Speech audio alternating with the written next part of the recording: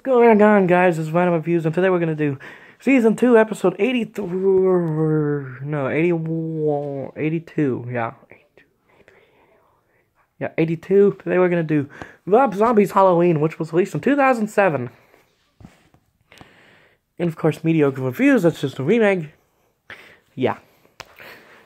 I actually kind of like this a little bit better. I'm going to give this a 9 out of 10 for sure. It's not as good as the original, but it's pretty damn good remake. Because what I like about this one is that there's to be, is I wouldn't say spoilers if you've seen this movie or not, but pretty much what I like about this one a little bit better than the first one. It's like what I like about this one is that it shows more him as a kid growing up to be an adult and then when he's arrested and stuff into the insane asylum. It's like, that's what I like about this a lot. And then you got the weird ass stuff with Deborah Myers. It's like, okay. Yeah.